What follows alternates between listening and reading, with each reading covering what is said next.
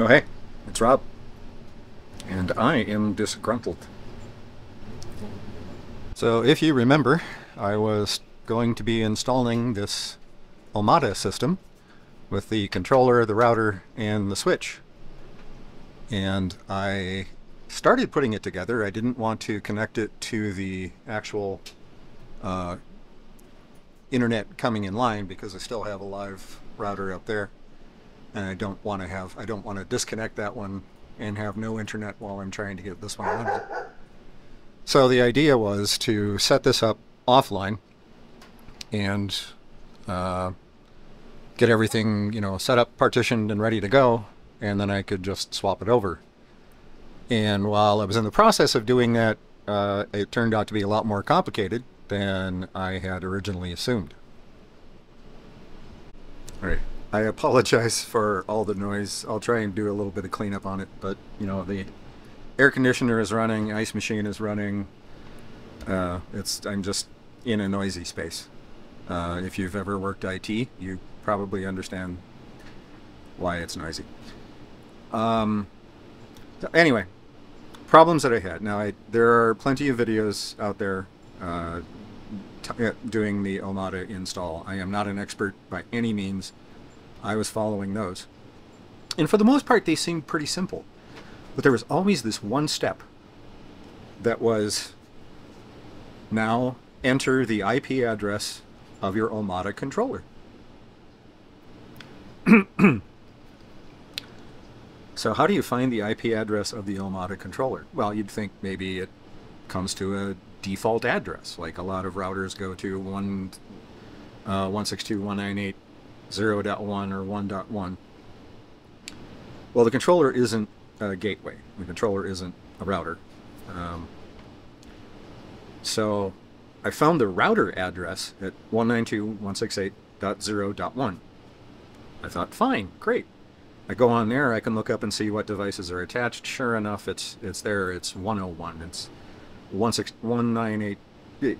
Anyway, uh, 0.101 because it had started handing out addresses at uh, 101. Which is great. Okay, so now I can access the controller, I can do the setup. Setup got more complicated than I was ready to handle, so I, uh, I and while I was in the middle of setting it up, my laptop completely locked up, uh, overheated. You know, it was the old laptop, and I, I gave up. And I just let it run. You know, it was it was already hooked up. Everything was working fine all things managed. Uh, it was great. Well, my new laptop came, and I decided it would probably be a good idea to get that set up.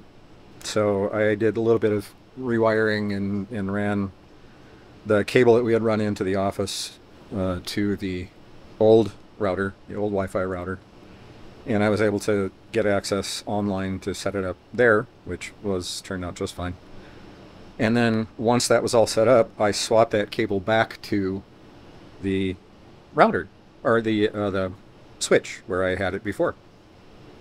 And I, I entered the IP address of the router, and there was nothing. There was nothing responding. So I started poking around and seeing what I could find, and nothing was coming up. The 0.101 wasn't coming up. It, you know, it was just all nothing. There was nothing there. So I, I uh, found a found a program online. Yeah, kind of a cool program. I know you can't see that very well, but it's uh, the Advanced IP Scanner. It's available for free online, uh, and it turns out to be a really nice tool that will let you scan ranges of IP addresses on your network. And it will find things on your network. So I ran that on, this is the old laptop, by the way. I, uh, I took it apart, cleaned it out with uh, uh, with a blowgun. You know, got all inside it and just really blew it out good. I reseated the Wi-Fi card, and now it's working, and even the Wi-Fi card is working. So it's back to being a usable computer again, although it's you know several years old now, uh, kind of reaching end of life anyway. But here we go. I have TP-Link Technologies. Now, one of these is showing up as my is a desktop that's also showing up up here at a completely different address 169-254-209-124. I have no idea what that is. Made by Goodwave Industrial Company Limited? I'm not entirely sure what that is. I don't know if that might be the uh, um, from the ISP, you know, the the fiber modem. And a lot of the rest of the stuff is, you know, stuff that I know is on there that's from the wireless. But these two, this 192.168.1.100 and 101, 101 should be the router. Because right now the router is the only thing on in that stack. Now, if you notice, it went from 192.168.0.1 to 192.168.1.101 and I have no idea why. So, uh, just a little bugged about that. Oh yeah, there's the website. AdvancedIPScanner.com. Advanced-IP-scanner.com. Oh, got more ice. So, all right, let me get back to Chrome. I'm going to go here.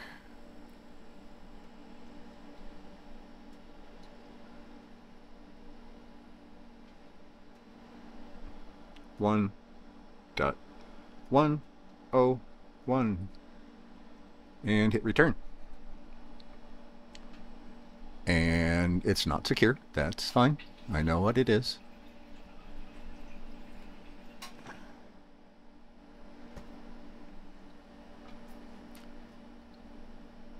And continue to site. And it's not connecting. So, something is wrong. And I don't know what it is, but I'm beginning to suspect that I might have a bad router. So I'm going to run this scanner again, and I'm going to disconnect the Wi-Fi because I don't need to have it for what I'm doing. So Wi-Fi is off. I'm going to do advanced IP scanner. Oh, sorry, I'm going to just close that. And we'll do a rescan. So I already know.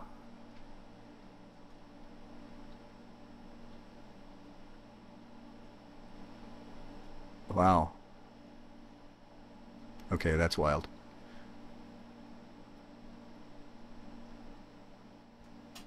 Because it will let you do ranges. I'm going to set this up. I have now set it up to do a scan of 192.168, 0 to 20, and 1 to 254. So it's going to basically look at uh, 20, 20 subnets, or 21 subnets, I guess. So let us start the scan. And it's going to take a few minutes. So in the meantime, I should tell you some stories. But I don't have any really good stories to tell you. Can one ever be gruntled? I mean, what does that mean? Taking a quick look at the water system, you can see how humid it is. Um, condensation is forming all over the cold water. These are looking really good.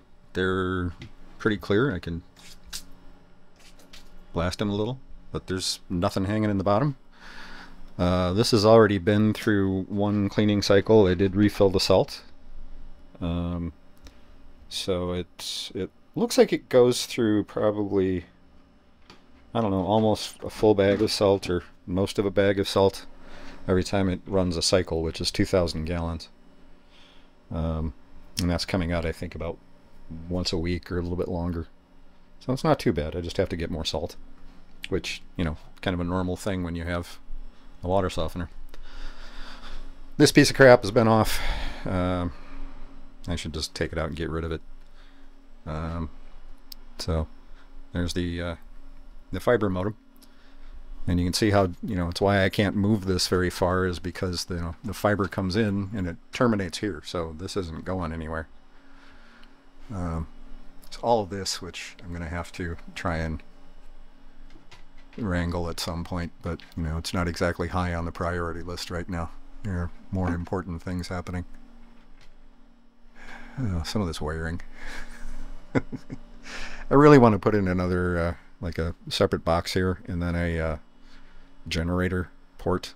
And probably have the plug go outside. I think this goes out under the uh, under the garage. So I'll have to investigate that at some point.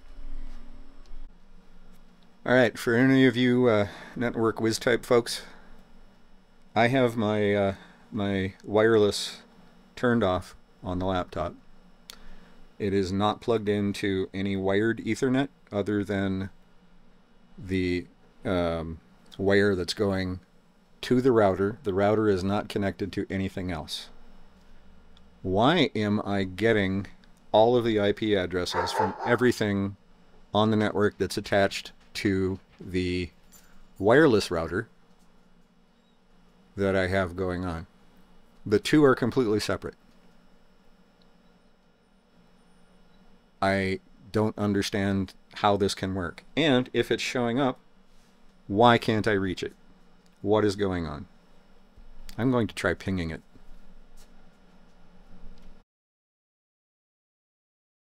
All right, destination host 1.15? What?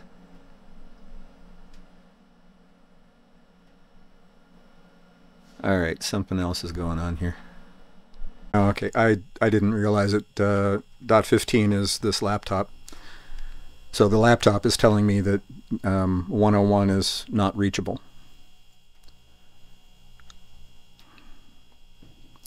So uh, I am I am strongly confused. All right, after a little digging, uh, it was showing me every item that was uh, available when it did the previous scan and uh, I found a setting that would turn off it would show only the live connections so right now the only live connection that is on this network is this laptop and the router is not showing up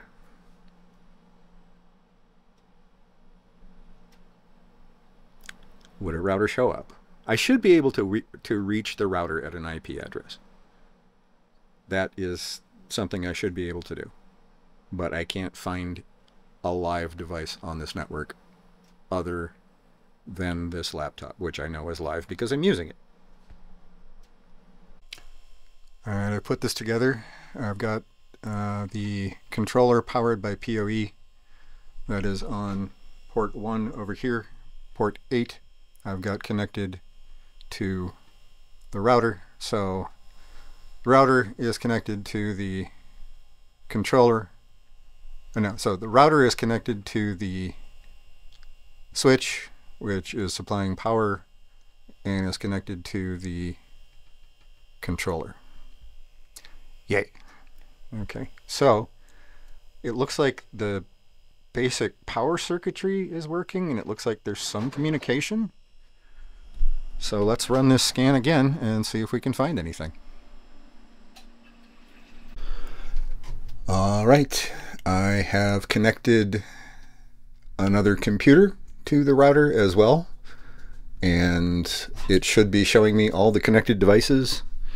The only one that's here is this laptop. I think that pretty much verifies that my router is toast. As Abraham Lincoln once said, well, shit. Uh, well, it's still. I mean, I only got it a few days ago, so it's a it's a return and replace. So I guess I'll uh, package it up and send it back to Amazon and get a new one and go through all this again. But hopefully more effective this time. The good thing is that the wireless access point, uh, I did get it configured. At least I started to get it configured so it has, you know, two active nodes on it. And, you know, it's like one's a guest node. Doesn't do much good right now, but uh, the it is working with the Wi-Fi router. So we do have much more extended access and extended availability. I still have to reset that router every, you know, three days, two days, which sucks. And it's it's not a not a great router. All right. Well, I guess we got that figured out, kind of, sort of. Troubleshot. And, uh, you know, go from here. Now, I have tried to reset this router. It's just not working. So, all right. See you guys later. Well, one of the happy things is I ordered it through Amazon, so uh, getting a replacement is pretty easy. I mean, I just I got it. I think it like it's been a week or something like that. So you know, it's it's not working. It's not working. I can get a replacement. So I got it all packaged up and ready to go.